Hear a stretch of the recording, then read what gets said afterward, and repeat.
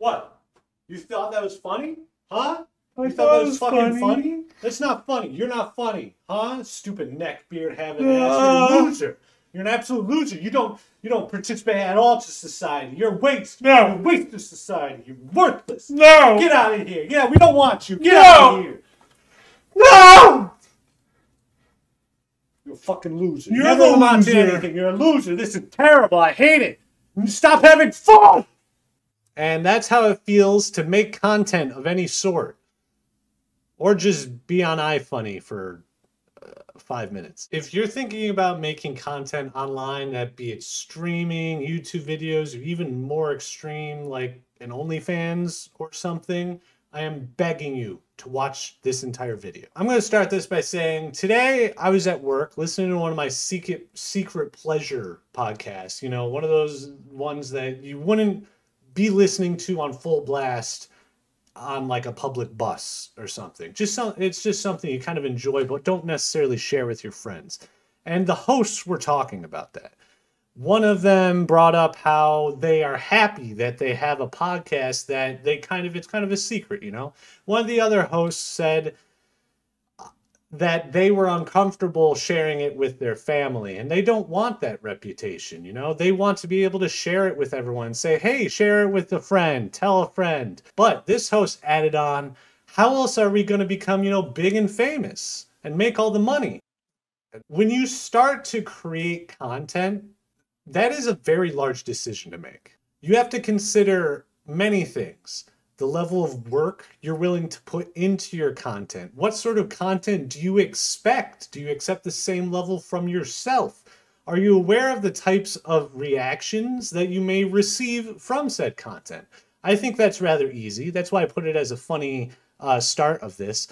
But to give you an idea, when I first started out, I had under when I had like under 100 sub- subscribers, all I was all I received was very positive affirmation. Like, oh my God, this is great. Oh, you're a hidden gem. Man, this is fantastic. Thank you so much for making this video. Stuff like that. And I was very like, oh, this is very surprising. Very actually positive stuff. But after that, I started to receive some very negative comments. Stuff like, you're not funny. You shouldn't even have posted this. Uh, like, you look like a stupid neck beard. I, I swear I just my girlfriend finds me attractive this way and I I have absolutely no image of myself. I literally do not have any comprehension on how good I look personally. I, I what is ever that's called like face blindness something. In order to also create content that you imagine may become popular at certain point and actually will gain an amount of views because no matter what you do you have to expect that you will get a lot of views. Not only because some of the best content I've ever seen on YouTube is from some random 10 year old kid with a phone that just walks around bullying his friends. I mean, it's hilarious. It's really bad. You should not support that at all. But it was funny to me. Things like that, you don't know what will become popular. So you need to also be aware of you might lose your job because as a normal person, you have to get a job. After you turn 18, you have to go out, get a job, get a 401k, get a thing with insurance so that way you don't die because I live in America. You have to have that first. You have to be living happily and have a good foundation first so lo- the the idea of losing my job because of the content I create because I can be a little bit unhinged because I find that funny was worrisome because a lot of jobs don't want that on their back. A lot of jobs want a very serious focus purely on your job and only your job. You, for instance, when I started my job on my paperwork that I had to sign, it said that I am not allowed any other job. I cannot get another job because this job wants to require every single bit of my time and any time off they give me is for a reason and it's to relax and de-escalate myself, to work on myself. So they don't want you to have another job. That's something you have to think about in the future. Not only that, but getting hired in a place in the first place. If uh, I tried to get a new job, I imagine they would see this. I, I, it's a huge thing that I do have to worry about. Now, of course, this is why a lot of people will create an alias to hide behind. You know, you don't use a webcam like I am. You get rid of that, and if you do, you put on a mask and you just make up some username like mine's made up. Because at a certain time when I was a kid, first trying to test this out, I didn't have a webcam and I didn't have and I used an alias. I don't feel like that's the type of content I want to create anymore. I wanted to be my true self. And to be my true self, I have to literally be me, myself, the guy you're looking at, you know? To give you a really good example of how it feels, I actually had an experience a couple weeks ago where I was very, very proud of an accomplishment I made in Halo Infinite. I killed the first boss without bandana on LASO, and if you don't know Halo, it's just something that I don't even believe has ever been done before. So I was very, very ecstatic by it. And because I was so ecstatic by it, I posted it to all my social medias and was interacting with the comments because I was so proud of myself. I was so happy. I was like, oh, yeah.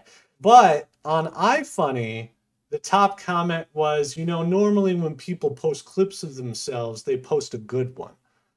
Which, not gonna lie, I thought was purely pointing out the quality because it was a two and a half minute clip, and you try uploading a two and a half minute clip at 4K 60 FPS on iFunny because it's impossible. I'm known for eating 60 chili dogs without a drink. So I thought they were talking about that. So I said, oh, why? And then I got, you know, an extreme amount of compounding people going through and basically ending up saying, you shouldn't have posted this clip at all. You're so full of shit. One of the people was just being really insulting for no reason just being very insulting, trying to get a rise out of me. I, I didn't know why.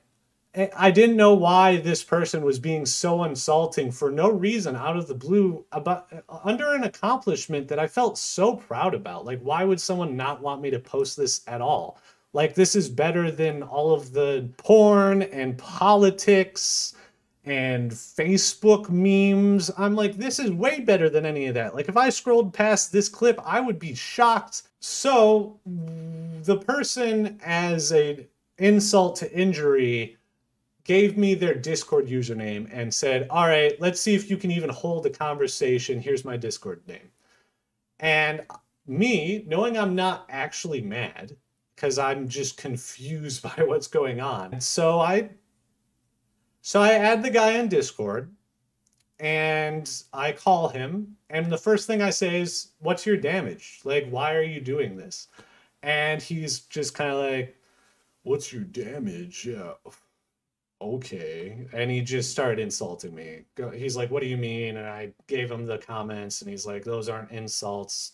I'm like, okay, what do you define as an insult? It goes on and on. Eventually, we end up playing, and he doesn't really give me anything. He's just insulting me and it's weird, but I am so grossly curious why this person is so psychotically being arrogant towards me for no reason, for seemingly no reason, that I keep pressuring him. Eventually, he's like, hey, let's play Scrabble. I play Scrabble with him for like five minutes. He beats my ass. I'm terrible at Scrabble, it turns out. I'm not good with words. Words no good. But afterwards, I continued to pressure him. I said, "Hey, seriously, why do you, why did you react to me like this? Like, do you just have really shitty parents? Did they beat you?" And he said, "Yeah, actually, yeah." Which, when you say it like that, I'm I'm not sure if he actually was. Just some people are like that. But I pressured him and I asked, why like why did you assume these things and he's like oh well because i know they're true i know you i know you so well how do you know me if you've never asked me a question ask me a question i told you multiple times that you can ask me any question you want i am a completely open person and i will tell you truthfully by any degree you have to i can be as detailed as you want i can be as vague as you want when you first ask me things i'm going to be vague because I don't know how much information you want to know, and that's whatever. But he started asking me questions, and I talked a lot about my upbringing with how my mom was very quiet. So she was there, but she wasn't really there because she just never said anything. And I talked about how my dad was the person that fully showed me how to do most of like my day to day things, my carpentry and whatnot, my way of how to interact with people and get things done, productivity mindset. It boiled down to that he just believed that every person who makes content on the internet is doing it just so they become famous. That he assumed because I was replying to all of my comments, even the negative ones, he thought I was angry and that I just couldn't control myself.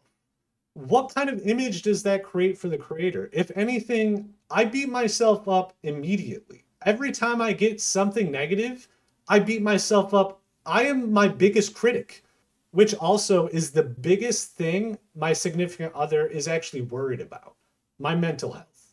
Because when certain things like this happen, it drains me for a day. I don't worry, eh, not even a day, maybe like three or four hours, because I really need to sit and think about something fully. I need to fully go into it, which I never even fathomed. Like, as a content creator, I just want to be a better person. I'm making this content for you to enjoy and for myself to like better myself. You know, I think this is a great way to better myself socially and also do things that I enjoy and see what people enjoy because I'm just fascinated by what people enjoy. When I talked about my personal life and how I got to where I am now, I said, What kind of picture does that form in your mind? And he said, Well, you just sound like a normal guy. You don't sound special at all. Yeah, that's the point. The entire point of this is I'm just a normal guy. I, that's all I want to be because I don't believe there's enough of them on the internet creating content. Like I, it, that's that's that simple, which I find fascinating. That so many believe, people think that way, you know. But getting angry at negative comments has huge impacts on me as a creator. Okay, which is another thing you need to keep in mind is that reacting to negative comments, people will instantly assume you are being petty, insecure, and just overall childish because you can't tell through text tone of voice. And people nowadays use so many crazy, petty ways of showing that they're petty. It's insane. I heard today that people use the thumbs up emoji pettily. I'm like, what can I even use to say okay anymore without without just being a petty snarkle wanker? So I just want to be concrete right now. In this moment, I create content because I just want to be a positive influence on the world. That's my only goal. It, it is I, I could I'm just enjoying the the ride. And quite frankly, if my job ever does find out about it and I'm not making money off of this and I have to make that decision, then I will stop making content because that's the decision you have to make. And with every single video I make, I get slightly better. I I know that when I even post this, there's going to be dozens of people who take something that I say out of context or don't quite understand the way I said it. Actually, they won't even question at all. I would love if they questioned me because I could defend myself. But instead, they will accuse something horrendous. They will jump 0 to 100 because you know why? Because people love, absolutely love to to feel like they're correct they're just smart i want i i hesitate saying smart but just correct. They want to feel correct. And by pointing you out and saying you're blank, imagine the worst shit you can think of. If they can say you're blank and you react like, what? Wait, why would you? No, of course I'm not. Why, why would you say that? They're going to be like, oh, yeah, he definitely is. Fucking what a guy. Because they don't think normal people respond that way. Even though in reality, you're just walking on the sidewalk, they fucking bump check you, hit you in the chest, and expect you to respond like, oh man, that was kind of wild. That is the mentally mentally healthy way. You just go like, well, that was weird. That guy's kind of a wackadoodle. But a lot of people will respond very negatively to that. And that that's not surprising. that shouldn't be like a negative thing either to to a degree because it's just what's kind of expected. By posting something like this, I'm expressing my personal opinion because you also need to express your personal opinions in order for people to even respect you. That's just how life works. People only listen to other people based on if they trust them. And the only way you trust someone is if you believe in what they say. You don't have to agree with it. Just believe that that person that you are talking to believes in what they are talking about. And if you're enjoying someone's content, I think we all can agree that you want to believe that person is being truly themselves. I truly believe I'm a good person. I try my best to be. That's why I'm totally open to all questions. That's why I'm open to everybody asking me a question. I, I try to be as honest and open as possible because I believe that is the only way to feel that I am a good person and that I am trustworthy. Because you see so many untrustworthy people in the world and when you ask them questions they get all defensive and won't answer things. I'm not that's crazy. If you're a popular person that people look up to you should be willing to talk about everything to a degree you know in a very mind good mindseted you get the idea. I try to create good content for people to enjoy. I have a real job that has to come first and with all that being said, I am no longer trying to stick to a schedule. It's just it's just not realistic for a single person to create good content on a schedule and also live my other life. I think my content has kind of gone down a little bit because I couldn't spend as much time on it. I got more hate because of it probably, which I see that the hate does influence you no matter what you do. But I want to be able to create content that I feel like I want to create, like this, as just part of my saga, I guess. And if people don't watch it, whatever, you know? The people that do will understand who I am the most. And if people talk about me negatively, they can just defend me on their own. And being defensive isn't bad. I mean, that's just what you do when you get insulted about something. That's just normal human behavior. And you can disagree with me in the comments all you want. Like, I actually I keep my comments open. They're always I allow all comments always, and I will sift through them and delete the ones that are just unfiltered arrogance for no reason. Other than that, I allow everything. You can call me names, I'm fine with that. It's just call, uh, saying things incorrectly that I will remove. It's just weird. I've talked before about productive tasks and social tasks. Productive tasks is anything you do that you would consider productive. Doing chores, learning something new, you know, going and visiting family if that is, you know, productive in your mindset because you may not be close to your family. Then there's social tasks. Social tasks are whatever task you have to help your social capabilities. A lot of people nowadays, for instance, scroll through TikTok, they scroll through YouTube, they will send memes, they will make memes, they will create content. That's a social task. It is a task that you are training your social capability with one another thing is is that not a lot of us actually train that social task. They train just the productive task. And they have no social they are socially inept because they only focused on the productivity part of their life and never the social part of their life. They didn't watch movies. They didn't watch tv they didn't do anything like that because those things are a waste of time but to the social people, those social things are actually very useful for communicating with one another. Oh, hey, how did that last did you see that last episode of Seinfeld last night?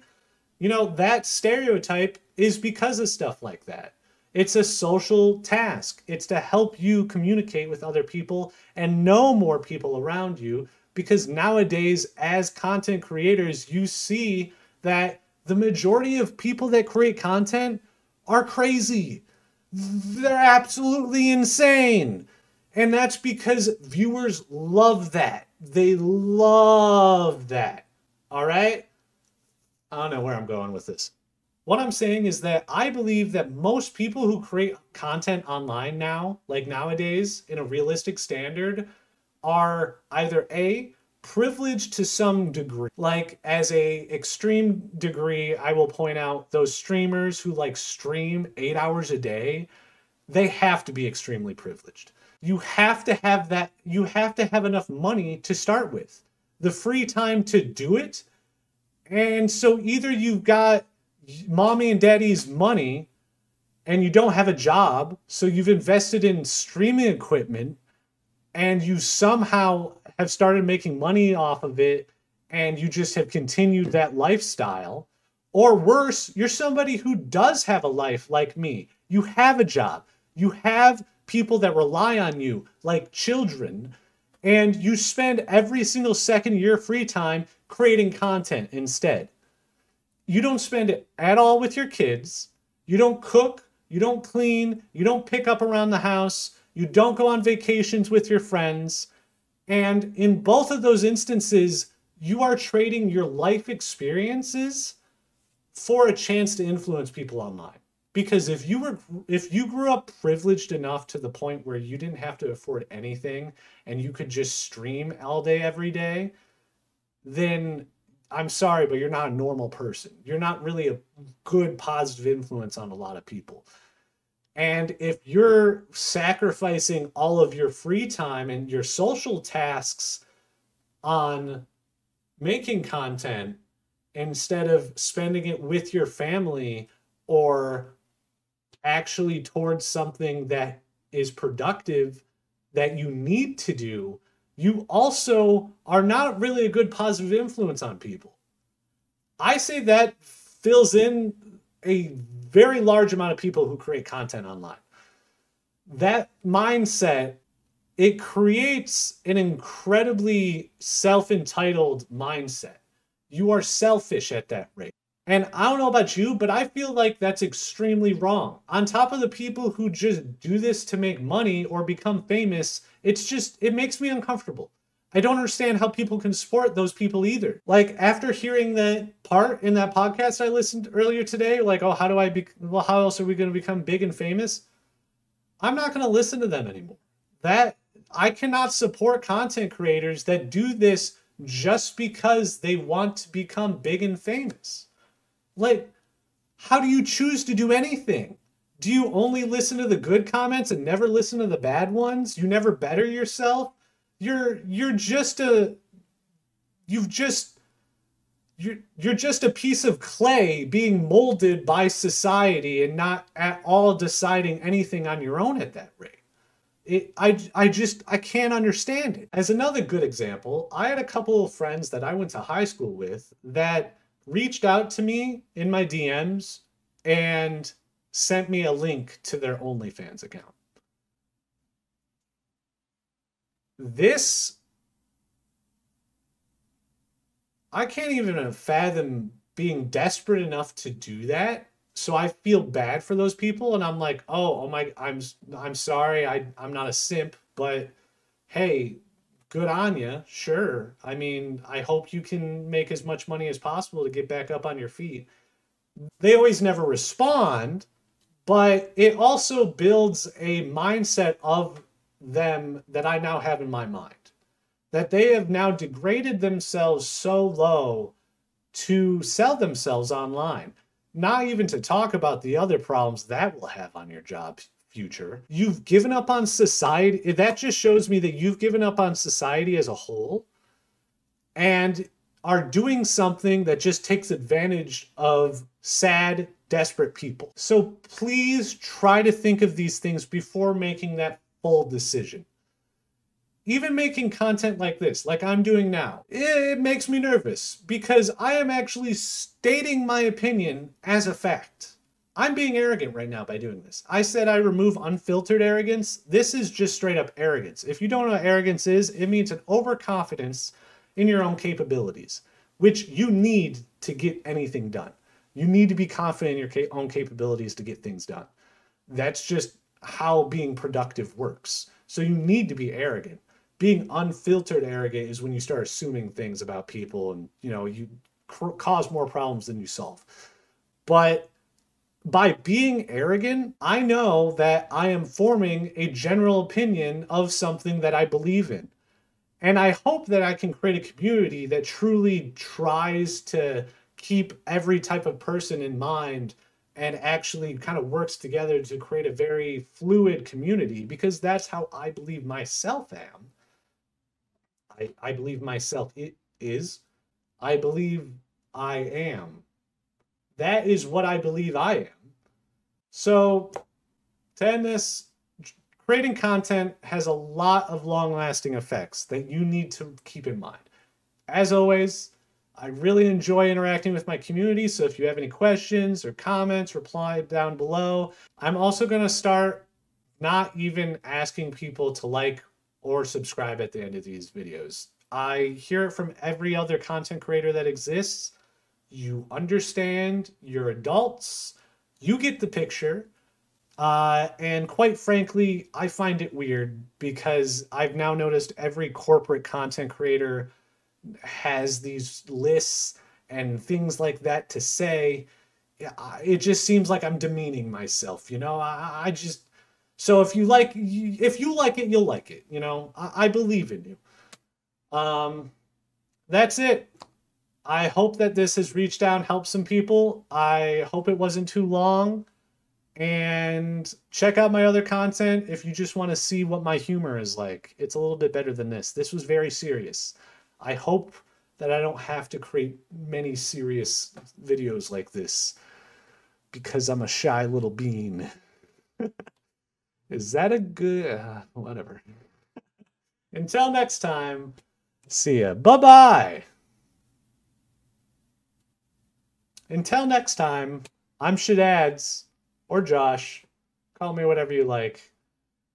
Bye bye. Fantastic word, bud. I, I, you put so much effort in that. What that take you four or five hours to do? I, that's fascinating. Like that's absolutely fascinating. Good job. But you did lose all of that content. Where where is it? Is yeah, it all? It's all true. gone. You fucking. I can't fucking believe it. How did you? You got me there. How did you? How did you waste that much?